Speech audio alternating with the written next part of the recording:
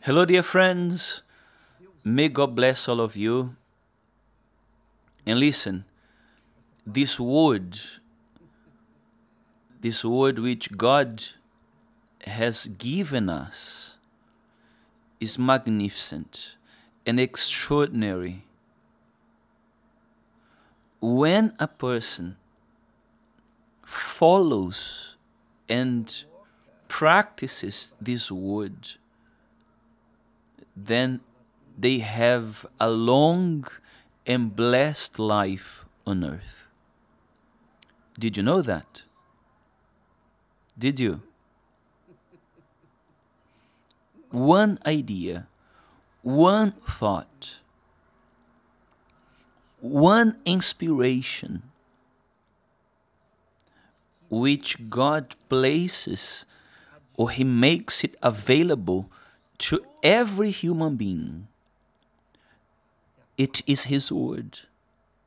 So, His Word is an inspiration, it's an idea that revolutionizes. It revolutionizes any person, it revolutionizes a person's inner being. It removes our weaknesses. It removes our frailties, our inferiority complexes.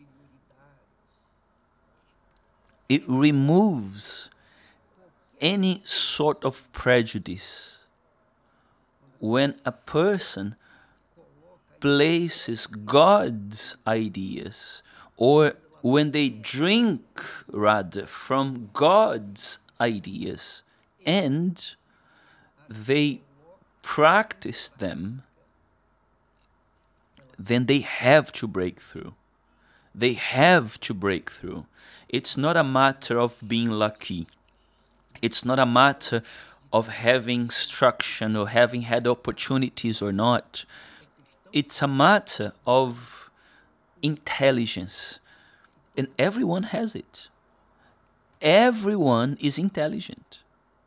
Everyone receives a level of intelligence. And however small this intelligence may be, it's enough in order for a person, once placing God's ideas into practice, they break through.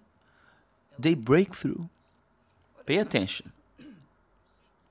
I know that we will read here from the text, which is one of God's great commandments, the Ten Commandments. This one is one of the commandments that are followed by a promise, God's promise. God said, God wrote, God determined, saying the following it's the beginning of all things. Honor your father and your mother, as the Lord your God has commanded you. So God commands, God commands, it's an order that He gives that children will honor father and mother. Honor your father and your mother as the Lord your God has commanded you. What for? That your days may be long, meaning you have long life, a long life, long life, and that it may be well with you in the land. that it may be well with you in the land which the Lord your God is giving you. Listen, we've seen this concept here of the family, right? Because I speak from my own experience because I had seven brothers in total, and we were all brought up within a fear and respect and with honor towards our parents. That's how we were brought up. None of us went down the wrong path or turned to addictions and prostitution and stealing and lying. On the opposite, my dad was not a religious man. He had faith, but it was nothing to do with what the Holy Scripture says. He didn't know the Bible. He didn't have access to the Word of God. But my dad, he had within himself this principle. He would say to us and to everyone around, he'd say, I'm capable of forgiving a thief, but I do not forgive a liar. Meaning that he hated lies. Jesus is the truth. So even without understanding, my father was adhering the idea of the truth taught by Jesus. You shall know the truth, and the truth will set you free. So Jesus is this, the truth that sets free. So we grew up with this principle, only this principle.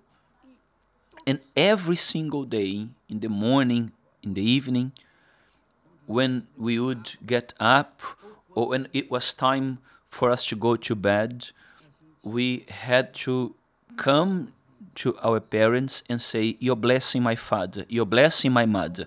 And if we didn't do it, then our dad would come and would slap us. So it was an obligation to ask them for their blessings. That's how things were back in the day. I think a lot of people grew up with this concept as well. Nowadays, people say, Good morning. You see, the devil distorted, the devil created this idea that, oh, to ask blessing from the father and the mother, ah, this is something of the past. We are in the 21st century. Oh, good morning. Good morning, ma'am. Good morning, dad. As if this would guarantee a good day to us on that day. Yes or no? How many people, how many people say good morning to you every day? How many people? For example, it's morning. When you get out of your house, everyone says, Good morning, good morning, good morning. At work, everywhere you go, you find a friend, someone you know, good morning, good morning, good morning. And what happens? Nothing. Nothing happens. It's simply, you know, absolutely nothing happens. Zero. Why? Because this good morning has nothing to do with the fear of the Lord, because the father and the mother represent God's family. They represent God. God is Father, Son, and Holy Spirit. So God established the family as the most sacred institution on earth. And that's why he said, It's not good that man should be alone. I will make him a suitable helper. He didn't say, I'm going to make him a woman, female. No. A companion. No. He said, I will make him a suitable helper. So the woman has this mission to help her husband and both become one flesh and they give birth to children and their children must know that him as well as the mother father and mother they both represent god so when the children say your blessing my father your blessing my mother deep down indirectly they are talking to God indirectly asking for his blessing because the father has authority to bless as well as the mother. Just as the mother has authority to curse the child, we see that a lot out there. The mother cursing the daughter, oh, you are doing this to me, you are being naughty, rebelling, your children will do worse with you. And it's true. Perhaps you are watching me and agreeing with me. It's true. I paid a high price. My mother used to say this to me, and my life is a living hell today. It was a living hell, not anymore because I met Jesus. But you who are a son, a daughter who was cursed once by your father or mother, it's the same meaning that the father and the mother, as one, they represent God bringing up their children. And the first thing, the first responsibility, their first mission is to bring up their children in the fear of the Lord. So when they teach a child to say, Your blessing my mother, your blessing my father, where does this blessing come from? This blessing comes from God. God is the one who blesses. He blesses me so I can bless you. He blesses you so you can bless your loved ones. He blesses each of us in order for us to bless others, our neighbor. But this starts inside of the house, in the family. So when God says, honor your father and your mother, he doesn't say, say good morning to your mother and father. No, this doesn't mean anything. Absolutely nothing. Good morning, good morning. And what's the point of it? None. Because what makes a person have a good day is when they respect their mother and their father, when they fear God and indirectly respect their father and mother. And then they prolong their days on earth. This is written. It says here that your days may be long and that it may be well with you. It's not just to prolong your days on earth, but for you to live well on earth. The land the Lord your God is giving you meaning you honor your father and your mother and you are fulfilling the word of God. You are placing a divine idea in your life. You are basing your life upon God's thoughts. Now you can imagine what's going to happen. Huh? Very well. So today I am the result I am one of the results of what God has done in my life from the way that I was brought up, the education that my parents gave me. And that was the first lesson. Honor your father and your mother. Because if I did not honor them, not my mother, my mother never slapped me but my dad, hmm, he had he had no mercy. So honor your father and your mother, that your days may be long on earth and it may be well with you. So, you, dear friends, perhaps you may say, Bishop, I was abused by my father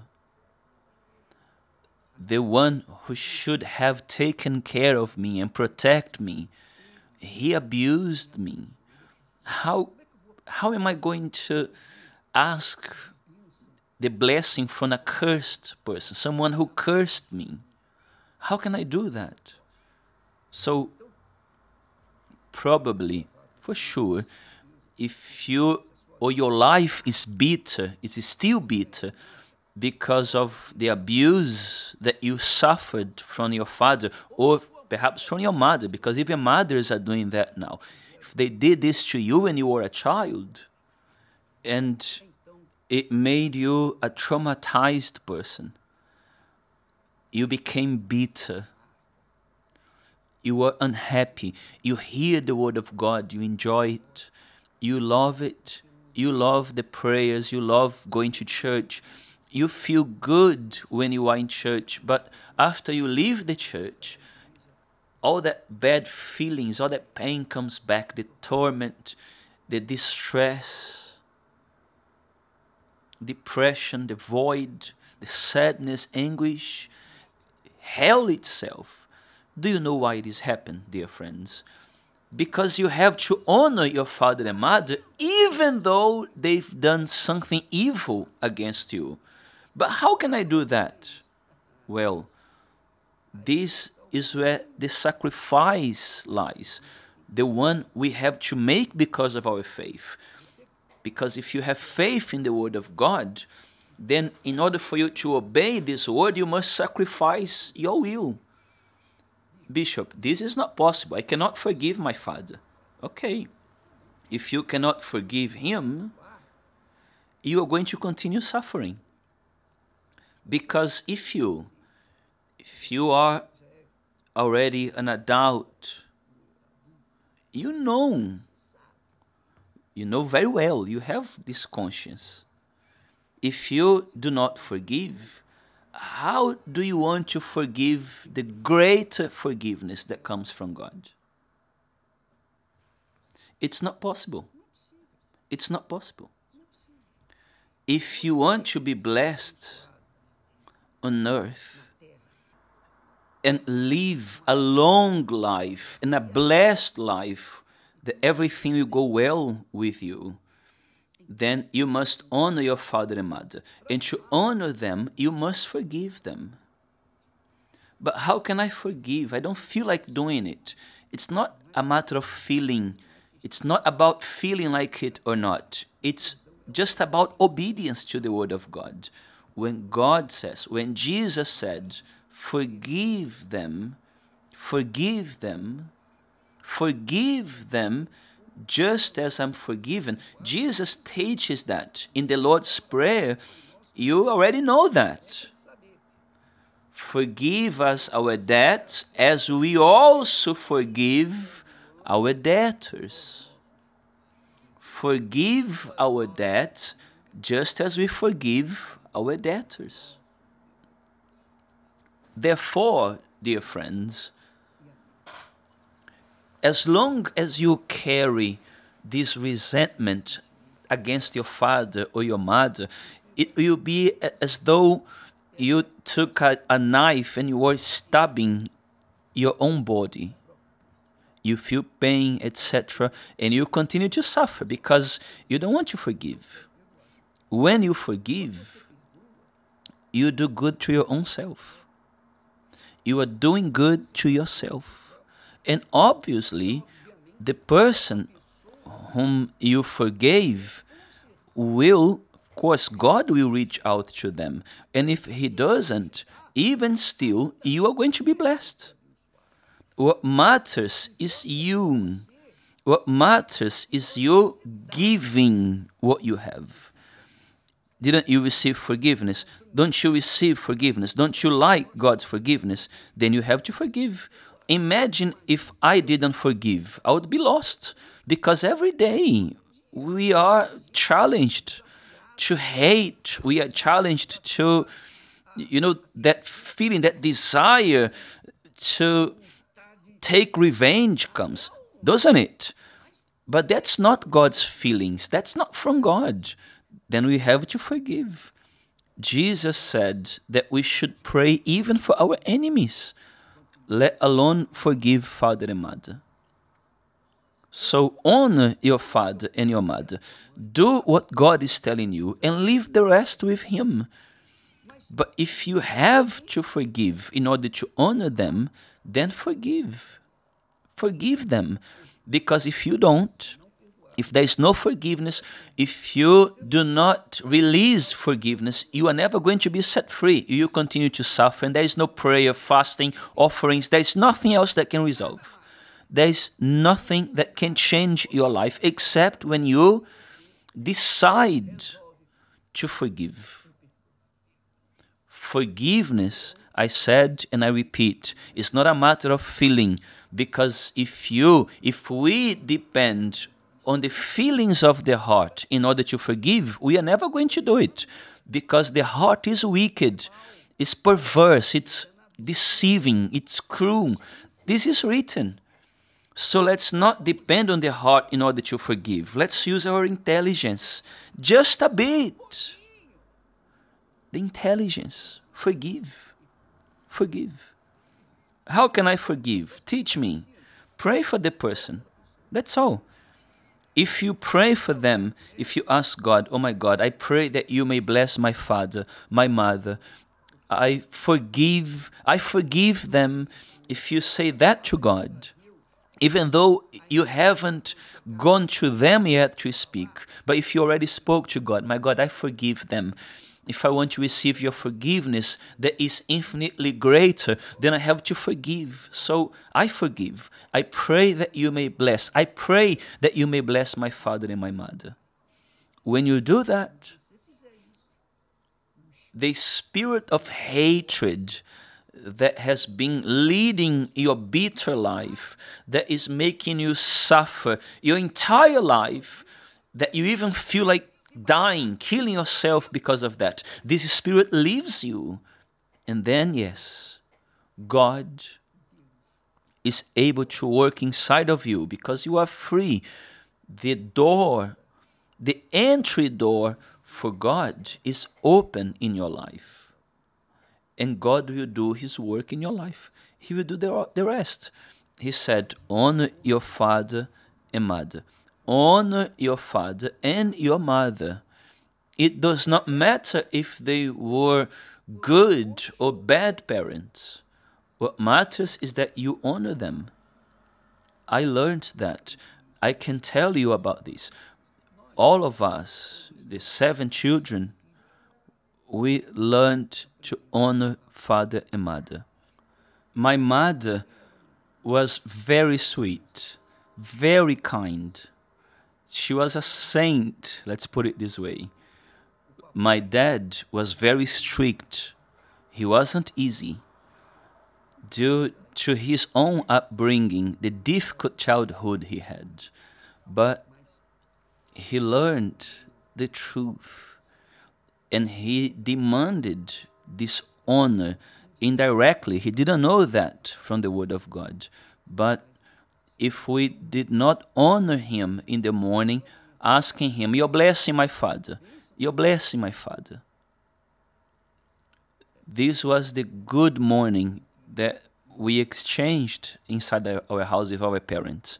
We grew up, we were brought up within this principle this was the foundation of our faith. Because without knowing the Holy Scriptures, we were already doing that. Today, praise God, we, we lead people to receive what we have received. If you want to be blessed, dear friends, then do not depend on Bishop Macedo or anybody else or the church or the religion. Do not depend on anybody. Depend on yourself and above all on God. Obey His word and you are going to break through. That's the reality. Obey Him. If you obey this principle, because this is one of the Ten Commandments, you know that the Ten Commandments is the foundation of all the order on earth. You know that every law in every country has been based upon the Ten Commandments.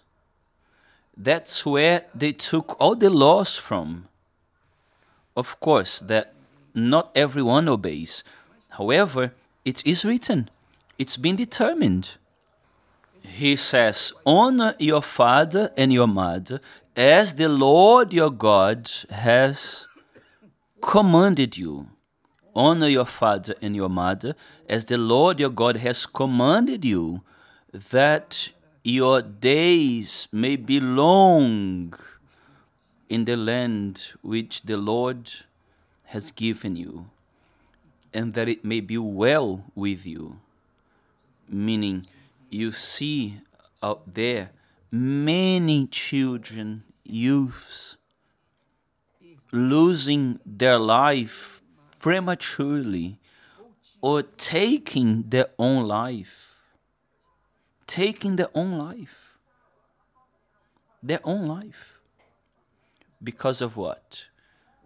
Because they did not have knowledge, they did not honor their parents, and they suffered the consequences because it's written and no one can change that. Did you understand, dear friends? So, this is the practical faith. It's pointless for someone to be in church, be faithful in their offerings and their tithe, do charity, be nice, if they do not honor their parents. There is no salvation. I think this way because it is written. Because to honor father and mother, the father and the mother are representatives, they typify, they are symbols of God in that family. The devil destroyed all that. Today, there is no such thing as respect between children and parents, parents and children. The family is destroyed, shattered because of sin, because of the I I say because of the lack of information from God's word. The lack of information because when someone reads this text one of the commandments says, Honor your father and your mother, so that your days may be long in the land which the Lord is giving you that it may be well with you.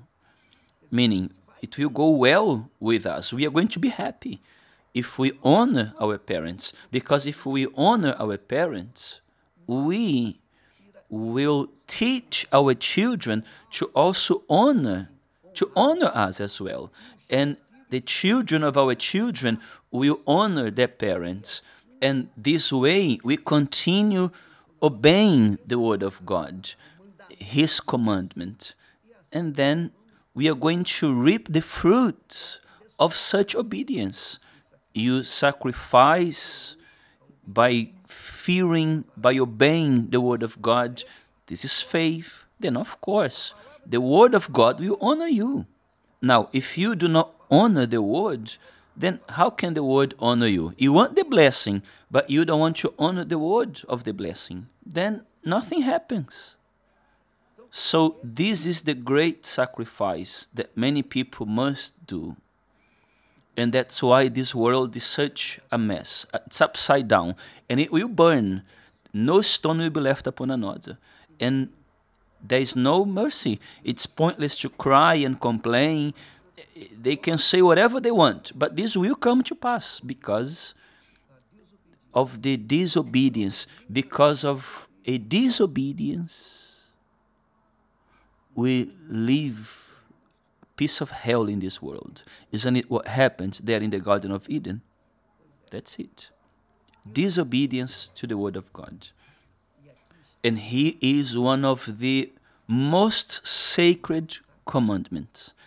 I'd not say the most sacred, but one of the most sacred commandments from God's law, which is the principle of family because family, did you know that family was the establishment or the first institution on earth?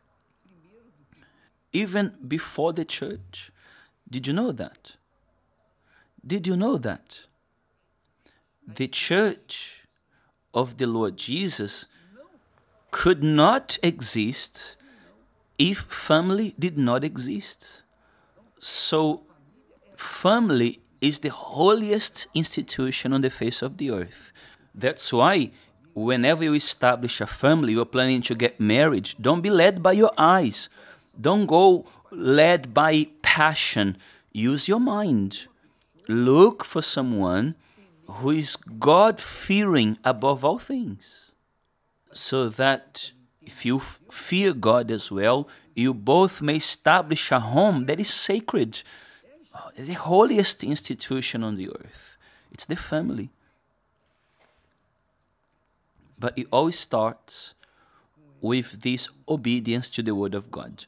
Honor your father and your mother as the Lord your God has commanded you. He commanded, it's an order. And when He commands, there is no debate in it. You just have to obey. Honor your father and your mother as the Lord your God has commanded you, that your days may be long meaning that you may have a long life and that it may be well with you on, in the land. It's not just to have a long life, but that it may be well with you in the land which the Lord your God is giving you. Dear friends, if you want the life and the abundant life that Jesus has promised, you have to start from there if you have to forgive, forgive. If you have to sacrifice to forgive, then do it. Do what's necessary, but honor your father and your mother. But my mother already died. Okay, if she's dead, there's nothing else to do. Nothing else. Oh, but my father died. Okay, don't even ask me the question, please. Honor your father and mother. Forgive. If they are there, if they are not there with you, it doesn't matter if they are near you or far from you. If you don't have access to them anymore. You don't even know them, your mother, your father, but you must forgive. Pray for them. All right? May God bless you. We shall be back here to talk more about this. May God bless you all, and I'll see you tomorrow in Jesus' name.